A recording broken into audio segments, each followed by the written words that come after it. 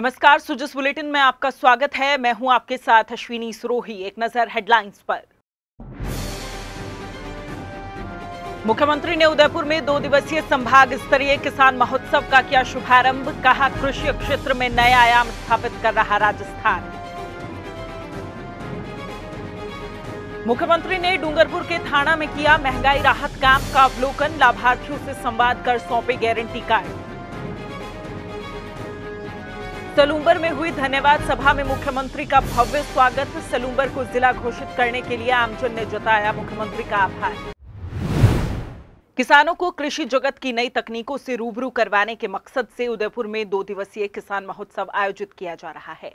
मुख्यमंत्री श्री अशोक गहलोत ने आज उदयपुर में संभाग स्तरीय किसान महोत्सव का शुभारंभ किया।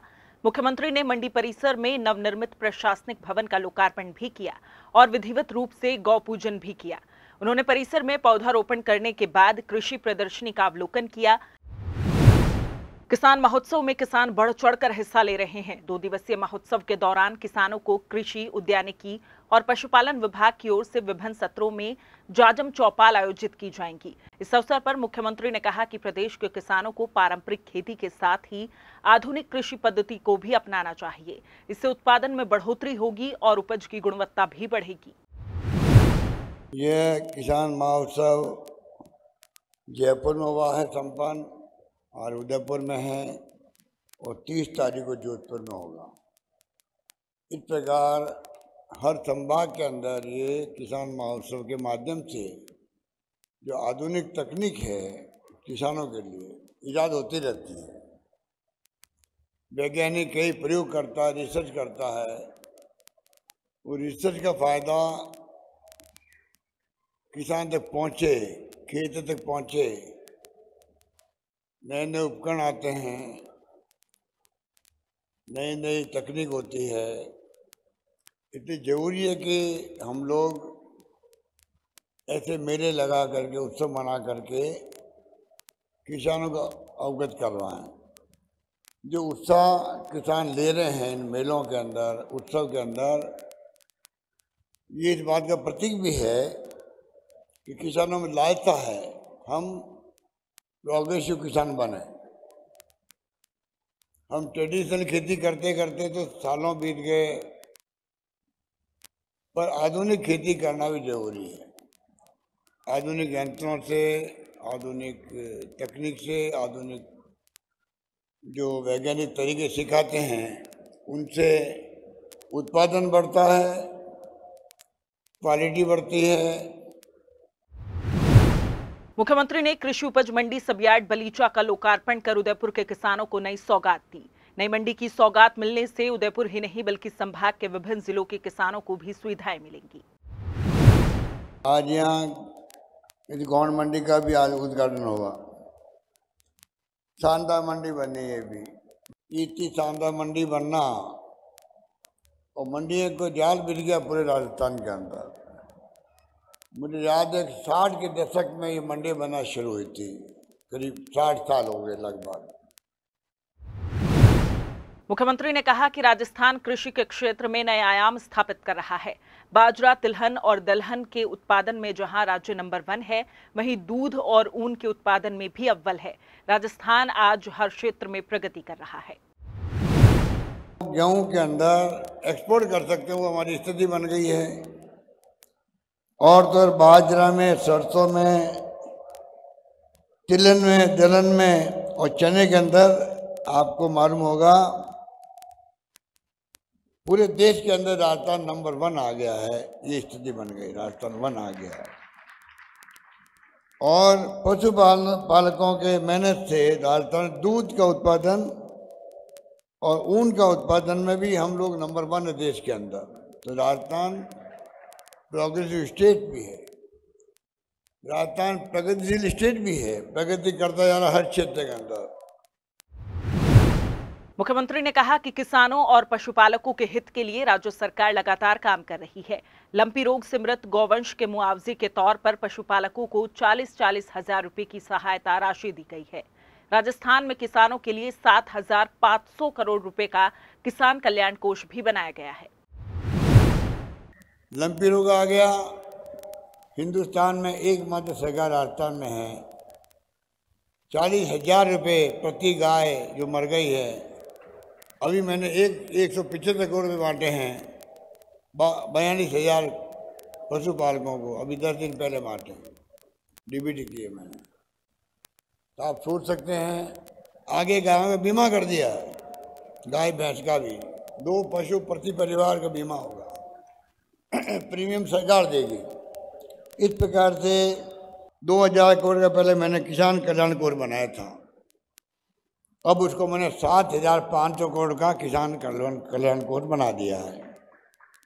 तो आप सोच सकते हैं कि कृषि के रिसर्च सेंटर राजस्थान में है, अभी तक ही नहीं होंगे। पाँच तो पहले कृषि विश्वविद्यालय पाँच थे। आप बताइए सरसों का अनुसंधान केंद्र यहाँ पर है, काजरी यहाँ पर है, राजस्थान एग्रीकल्चर रिसर्च इंस्टीट्यूट यहाँ पर है, और साठ कॉलेज जो है आज कृषि कॉलेज साठ हो गई राजस्थान के अंदर, साठ। उसमें बयालीस मैंने बनाई अभी चार साल के अंदर बयालीस मुख्यमंत्री श्री अशोक गहलोत उदयपुर के सलुम्बर पहुँचे, जहाँ आमजन ने मुख्यमंत्री का भव्य स्वागत किया। सलुम्बर को नया जिला घोषित करने के लिए स्थानीय लोगों ने मुख्यमंत्री का आभार भी जताया। मुख्यमंत्री ने राजकीय उच्च माध्यमिक विद्यालय में सलुम्बर को जिला घोषित किए जाने पर आयोजित धन्यवाद जनसभा को संबोधित भी किया। मुख्यमंत्री श्री अशोक गहलोत ने डूंगरपुर ज़िले की ग्राम पंचायत थाना में महँगाई राहत कैंप और प्रशासन गाँवों के संग अभियान के तहत आयोजित शिविरों का अवलोकन किया। इस दौरान मुख्यमंत्री ने लाभार्थियों से संवाद कर गारंटी कार्ड सौंपे। इस दौरान मुख्यमंत्री ने लाभार्थियों से बातचीत कर उन्हें राज्य सरकार की जन कल्याणकारी योजनाओं की भी जानकारी दी। मुख्यमंत्री ने कहा कि राज्य सरकार की 10 योजनाओं का सीधा लाभ इन महँगाई राहत शिविरों के ज़रिए आमजन को दिया जा रहा है। मुझे खुशी है कि गारंटी कार्ड भी अभी तक एक करोड़ छिहत्तर लाख लोगों को मिल चुका परिवारों को राजस्थान के अंदर। और सात करोड़ छत्तीस लाख कार्ड बढ़ चुके हैं गारंटी कार्ड। इतना बड़ा काम हुआ है और उसे सब लोग खुश हैं, इस बात की मुझे बहुत पसंद है। पाँच सौ रुपये में गैस सिलेंडर दे रहे हैं हम लोग। कार्ड ले लिया होगा आप लोगों ने, नहीं लिया तो ले लीजिए। सौ यूनिट बिजली फ्री का मतलब है कि आप बैठे हुए हो। करीब सबके बिजली फ्री हो गई है। सौ यूनिट की बिजली फ्री हो गई।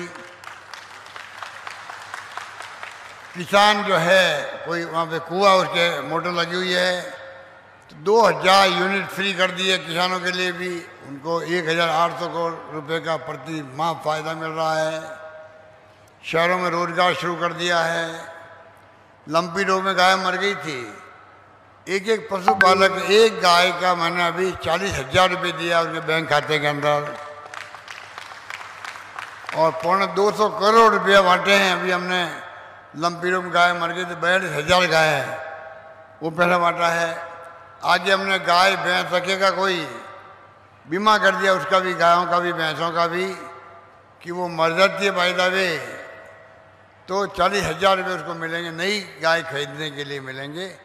इस प्रकार से हमने कई योजना लागू कर रखी है। मुख्यमंत्री श्री अशोक गहलोत से यादव समाज के प्रतिनिधिमंडल ने मुलाकात की। प्रतिनिधिमंडल की मांग पर श्री गहलोत ने श्री कृष्ण बोर्ड के गठन की घोषणा की।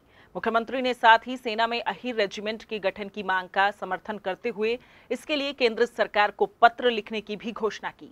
प्रतिनिधियों ने मुख्यमंत्री श्री अशोक गहलोत का आभार भी जताया।